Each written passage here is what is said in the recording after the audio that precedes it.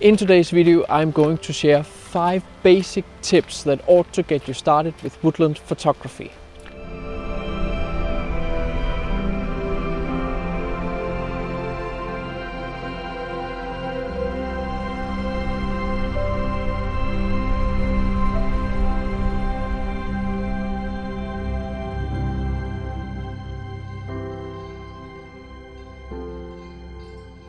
So the first tip is definitely bring a tripod. Within a forest it is way darker than you actually think it is. Even though the sun is actually out as you can see here behind me, the sun is coming through the forest. It is just way darker than you think it is. Right now, when I have my optimal settings for this scene here in my background, currently ISO 50 to get as clean a photo as possible f14 to get everything in focus. Even though I might shoot at f11, I will still have a long shutter speed. So the shutter speed right now is actually two seconds. So even though I got went down to let's say f8, I would still have a shutter speed of half a second. And that simply means that you can't handle it. Well, you can and then just shoot a lot, but definitely bring a tripod. When it comes to the sturdiness of the tripod, it is less important. Personally, I bring my Travel Angel from Benro everywhere. And for me, it's the perfect tripod because it's lightweight. It is carbon fiber, so the shakiness of it is different from an aluminium tripod. But in, in this particular case, there is not much wind in the forest. Generally there are not much wind in the forest because the trees obviously works as a huge wind buffer. So that's not a big problem. I also use my ball head that comes with the Benro tripod. This ball head is super practical. It's super easy to get the camera off the tripod. I also have another ball head which I use when there is a bit more wind and I usually use that in Iceland or in the Faroe Islands. But when we are in the forest in Denmark or wherever you are in a forest, you don't really need to think too much about the sturdiness, the quality of the tripod and so forth.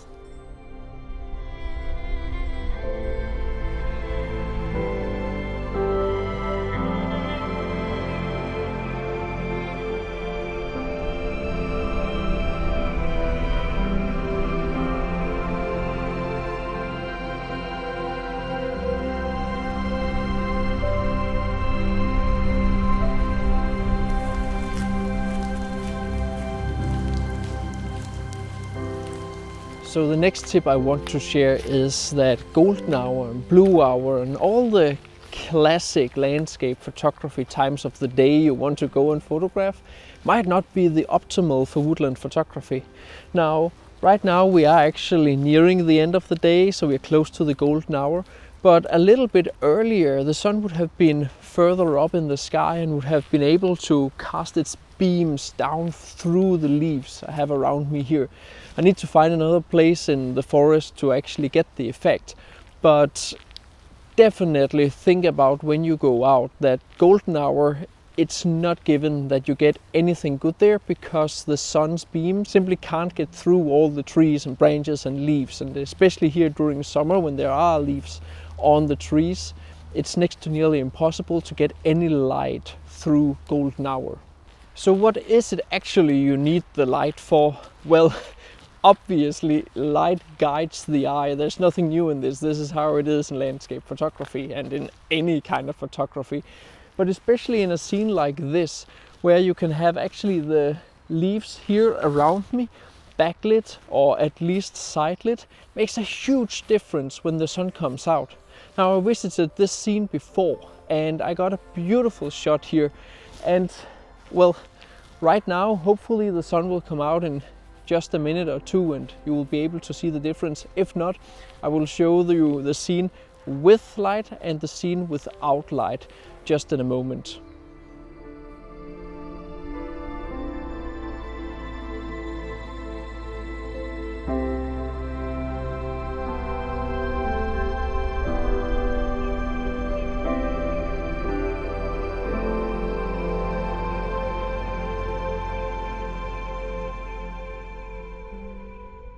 Another and probably a little bit better example is this one from my first Tales from the Forest episode. When I got this photo the sun were between 30 and 40 degrees above the horizon, way out of the golden hour. This enabled the light to come down through the big trees and hit the small tree.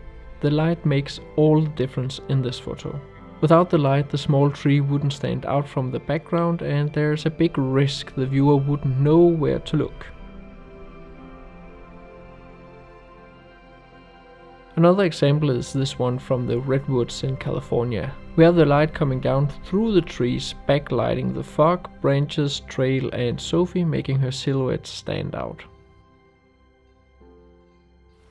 So the next tip is in regard to what lens you should use or more precisely what focal length you should use. None of the photos I've released so far from my woodland photography has been below 24 millimeter. And the reason for that is if you go wider than 24 millimeter, you increase the risk of including a lot of all the specular highlights you will see up here in the top of the forests. The reason why you do not want to include all these specular highlights is that they are part of a high contrast area. They will create a high contrast area and high contrast areas in your photos drags attention. And if you do not want to show the top of the trees, you probably don't want to include them. Now the scene I'm at here is a great example of that. So right now I'm shooting at 24 millimeter and as you can see I'm including quite a lot of the top of the trees. I have a lot of attention dragging highlights up here above me. So as you can see now, I'm in the exact same scene. I've just moved the camera further back and zoomed into 70 millimeter instead. In this way, I compress the scene more. And that basically means that I have the branches up here framing the scene and I don't have all the specular highlights to drag attention. All your attention ought to be right here on me as I am the place in the photo that creates the highest contrast. Me and the surrounding light here. And of course the background. The first photo I showed in this video is a great example of that. In the top of the frame it is possible to see the sky. However, if I zoom in I crop out that distracting part of the scene.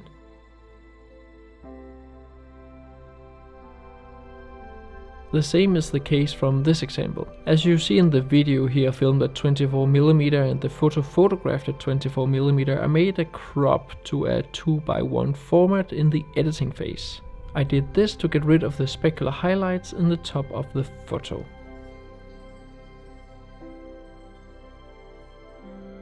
And in this photo from the third episode of Tales from the Forest, I had a few too many holes in the top of the photo where I could see the sky through the tree.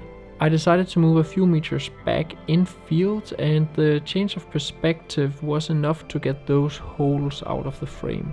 The few that were left I could remove in Photoshop.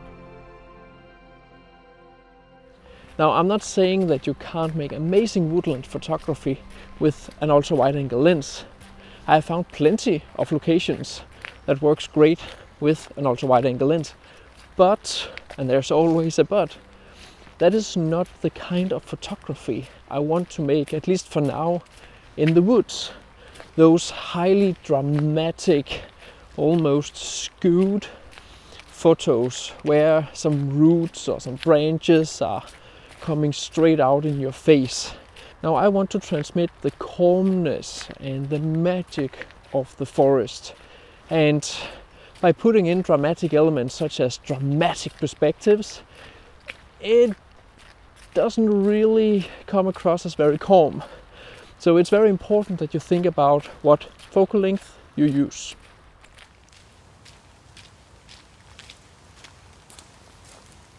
So the next thing I want to talk about, the next tip is to not rely on fog.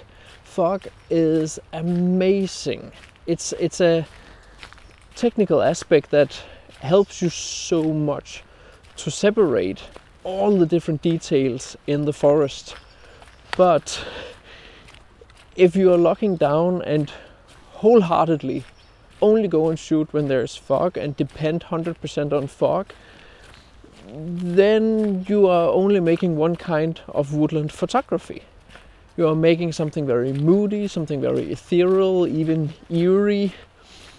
And if, if that's all you're into, fine, of course, perfect. But as I've already demonstrated in this video, you don't need to depend on fog to create beautiful and amazing and interesting woodland photography.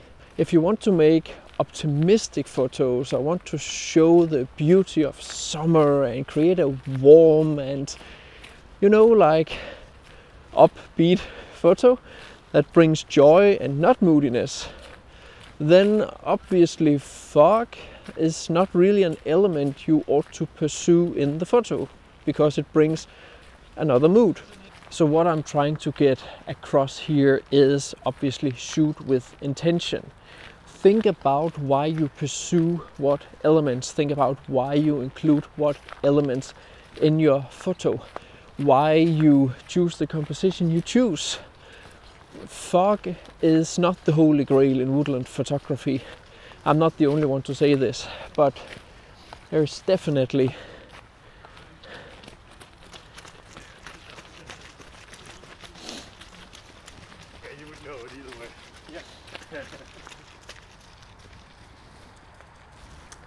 that's how it is to create a vlog in the middle of a forest that is in the middle of a town. There are a lot of people running here after work. So to conclude, don't rely on fog. Fog is amazing. It creates amazing moody photos. Helps you to separate the trees and all the stuff uh, in the forest. But you are also locked down to a certain mood. If you want to make something optimistic, don't rely on fog, rely on light.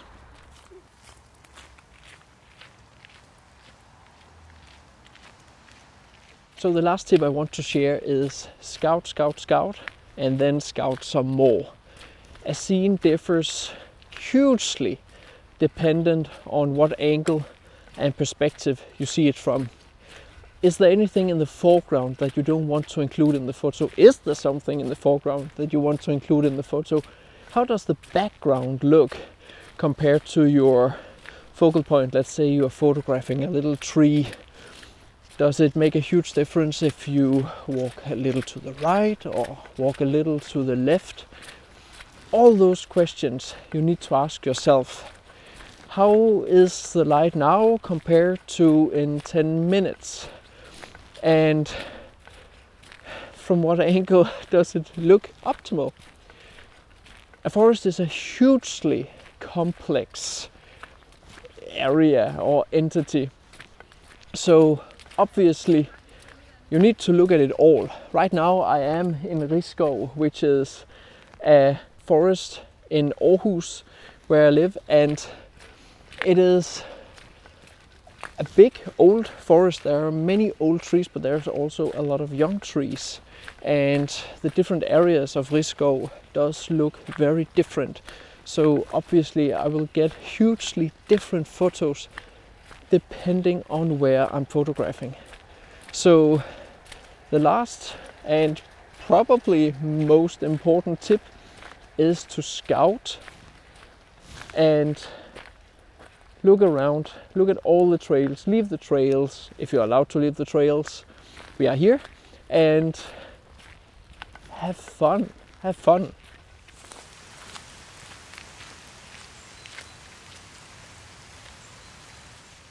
So it has started to rain quite heavily now. I don't know if you can see it, so it's about time to get home. I hope you enjoyed these five basic tips on woodland photography and I hope it's enough to get you started and think about the process of woodland photography.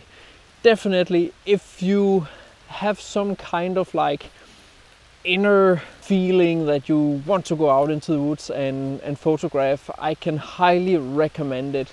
It's not easy, but it's not as hard as people do it either. So go out there, enjoy it and experiment and become better.